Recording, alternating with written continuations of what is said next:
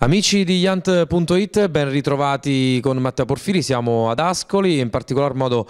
al Palazzo dell'Arengo insieme al sindaco, l'avvocato Guido Castelli. Il 2017 sindaco ormai eh, sta terminando, è nella sua fase finale, ma sta arrivando un 2018 che speriamo possa essere ricco di progetti e di belle notizie per la città. Però parlando proprio dell'anno che si sta per concludere, eh, cogliamo l'occasione per chiederle insomma quali sono stati i principali risultati che la l'amministrazione comunale di Ascoli è riuscita a raggiungere e magari anche se c'è qualche rammarico per qualcosa che magari si voleva fare ma non si è riusciti a farlo.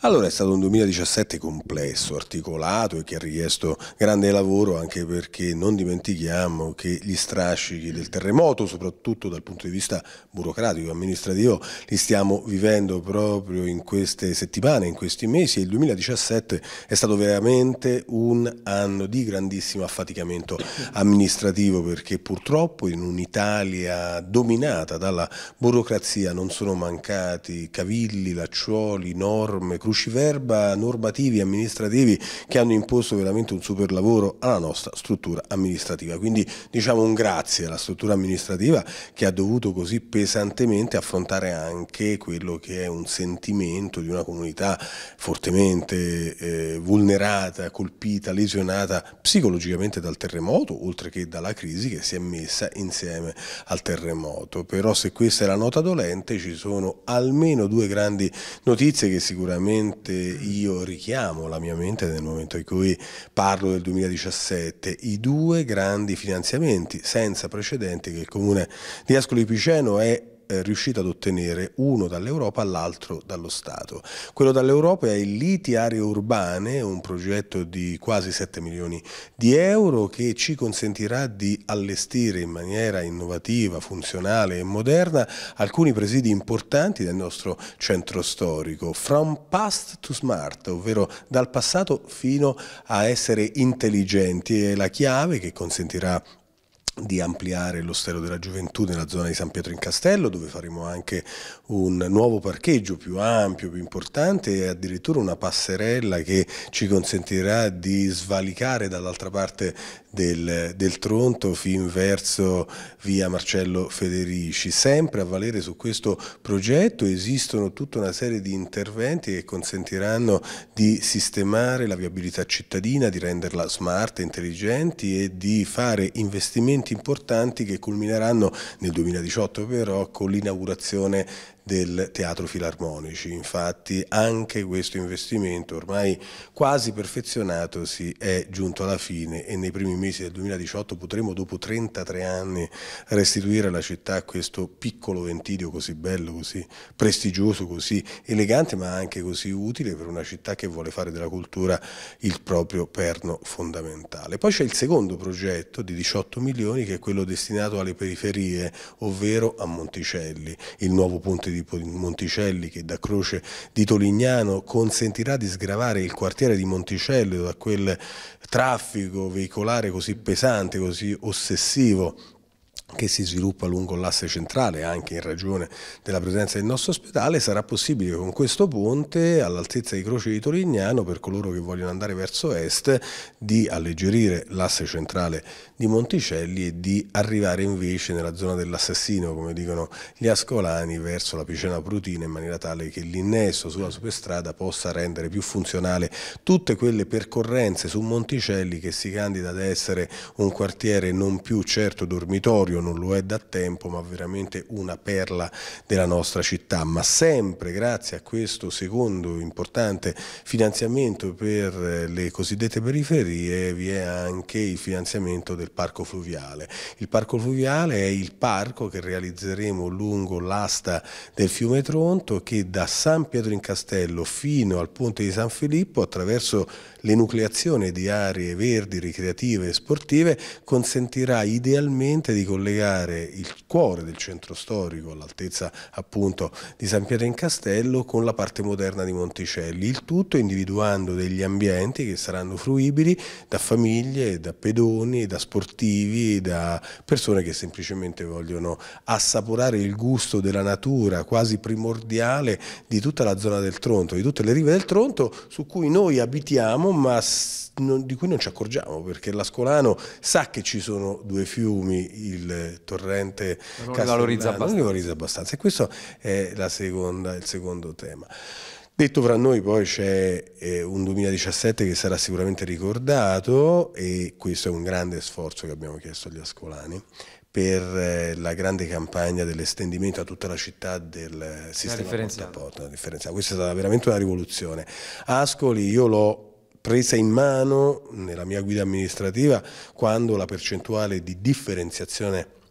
del rifiuto era al 34%. Noi oggi siamo eh, sopra il 60%, grazie ad un impegno che devo dire ha registrato una grande collaborazione da parte degli ascolani, i quali senza strepiti nella gran parte e nella maggioranza dei casi si sono industriati per applicare la nuova metodica, che sicuramente è un'innovazione che poteva e ha creato qualche problema su cui cercheremo di lavorare, ma non era scontato avere un risultato così immediato e un'adesione così convinta e spontanea da parte di una città che, ripeto, si è impegnata nell'applicare un metodo che è unico in tutte le marche, perché solo nel capoluogo di provincia Ascoli Piceno si applica un principio del porta porta spinto eh, diciamo su tutte le matrici. Ancora oggi alcuni comuni ritenuti ricicloni, anche comuni vicini, sull'umido ad esempio usano il sistema con il cassonetto stradale. Noi invece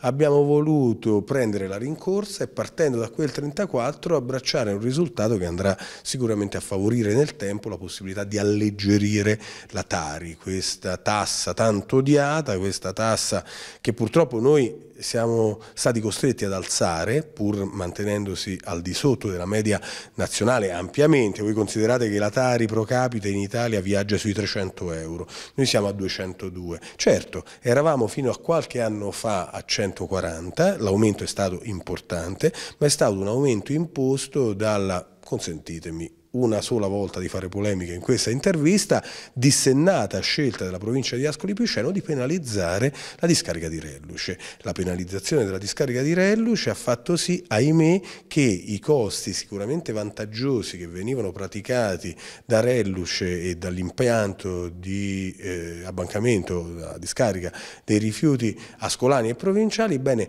questo blocco, che è stato un blocco secondo me politico perché a qualcuno dispiaceva evidentemente che il ciclo dei rifiuti fosse così sfidante, così performante, ad Ascoli ha fatto sì che vi fosse questo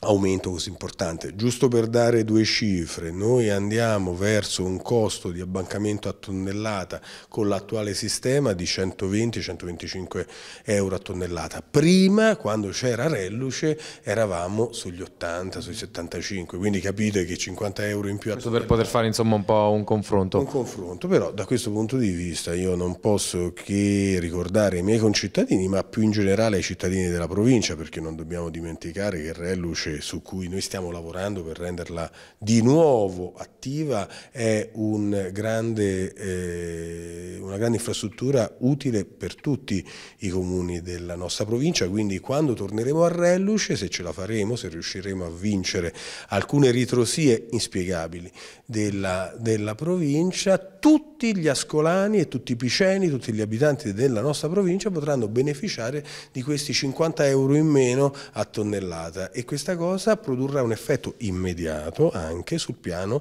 della saccoccia, del portafoglio della signora Maria, del signor Mario e di tutti gli ascolani. Però io una cosa te la devo dire infine se ancora ho qualche secondo per dire che la più grande soddisfazione è stata quella di vedere in una classifica che non è come dire, il ranking tirato fuori da un giornalino eh, di quarta serie, ma dal Sole 24 Ore, la classifica sulla qualità della vita che ha preso in esame tutta una serie di parametri che riguardano appunto il come si vive nelle città capoluogo eh, della nostra Italia, ebbene Ascoli è risultata non solo al quindicesimo posto in tutta Italia, cioè fatto centro le città italiane, Ascoli è la città che si colloca al quindicesimo posto per qualità, intensità e bellezza della vita vissuta, ma addirittura noi siamo stati inseriti e grazie a questo dato siamo riusciti a ottenere quel piazzamento quindicesimo così importante insieme a città del nord e del centro nord, ebbene grazie soprattutto alla nostra propensione alla innovazione. Ascoli è prima davanti a Milano per le caratteristiche e gli investimenti che ha saputo destinare alle cosiddette start-up innovative. È il lavoro fatto da un incubatore di impresa tecnologica avanzata che guarda al futuro e che coinvolge giovani, che sta lavorando in maniera piuttosto eh, determinata per far sì che siano sempre di più i giovani che un po' da tutta Italia vengono ad Ascoli per ottenere la validazione di progetti nell'ambito della nuova economia digitale. Quindi senza dimenticare l'importanza del manifatturiero, noi sappiamo di essere nelle condizioni di poter offrire un po' a tutti la possibilità di rischiare di investire in un campo che sicuramente è il campo che domina le prospettive future della nostra modernità. E insieme a questo dato ricordo che quella eh, posizione così vantaggiosa e prioritaria nella classifica è stata anche garantita dal numero e della qualità degli, delle, degli eventi e degli spettacoli, dall'intensità della pratica sportiva e quindi dalla forza del nostro sistema sportivo associazionistico, oltre che dalla presenza assidua importante di sale cinematografiche nostra, nel nostro territorio. Insomma, fa piacere senza eh, indugiare in eh, vanità di sorta constatare come eh, sia sempre utile e valido l'antico principio, principio secondo cui poco valgo se mi giudico, molto se mi giudicano gli altri. In questo caso gli altri sono il Sole 24 Ore. Tutta Italia ha parlato di questa posizione, dobbiamo essere più consapevoli della qualità della vita possiamo, di cui possiamo godere nella nostra città. Perché delle potenzialità che ci sono. Delle potenzialità, quindi capisco che i problemi non mancano, però dobbiamo avere uno sguardo e degli occhi nuovi per poter ringraziare sempre e comunque eh, chi ce l'ha dato di poter disporre di una città così bella e importante. La cosa deve essere uno sprone per fare sempre di più e sempre meglio perché i problemi non mancano, però dobbiamo cercare se è possibile superare quell'antico complesso che ci viene da Cecco d'Ascoli, di vedere qualche volta il bicchiere mezzo pieno e non mezzo vuoto. Non è complicato, non è, non è impossibile, è facile. Quindi io affronto il 2018 forte della consapevolezza che i problemi non mancano, perché questo è il tempo che il nostro Signore ci ha assegnato per vivere, per amministrare e per intervistare. Però dipende da noi riempire questo tempo di propositi importanti, significativi, generosi nei confronti di tutti, in maniera tale che magari da quindicesimi nella classifica in Italia si, si possa anche salire, perché no? Un augurio per concludere agli ascolani, insomma, in vista delle festività natalizie e ovviamente del, del, nuovo anno, anche se un po' un augurio è già stato rivolto. Diciamo. Certo, però non smetto mai di augurare agli ascolani eh, la possibilità, la voglia di essere sempre positivi verso le cose che ci dovranno accadere, consapevoli dei problemi, ma l'augurio è quello di poter utilizzare anche qualche volta quella che è la rabbia che ci sale per poterla trasformare in energia positiva, sempre più proiettata verso un futuro difficile, spesse volte ci sembra opaco, ma, ma possibile. Poi tanta serenità in famiglia e tanta salute perché siamo di passaggio in questa vita e quindi dobbiamo essere sempre consapevoli che quello che ci viene dato è sempre qualcosa in più e che dobbiamo custodirla nel rispetto degli altri, della nostra famiglia, delle cose che spetta a noi fare, affrontare e risolvere. Ecco, l'augurio di non avere tanto la tendenza, la tentazione a chiedere agli altri di fare, ma di mettersi in campo e di fare noi stessi, perché la soddisfazione poi alla fine è sempre molta. Allora, grazie al sindaco di Ascoli, l'avvocato Guido Castelli, ai quali ovviamente rivolgo gli auguri da parte mia e di tutta la redazione di Iante. Un saluto a tutti gli amici che ci hanno seguito e l'appuntamento allora è per il 2018. Di nuovo auguri a tutti, ciao. Auguri a Iante. Auguri.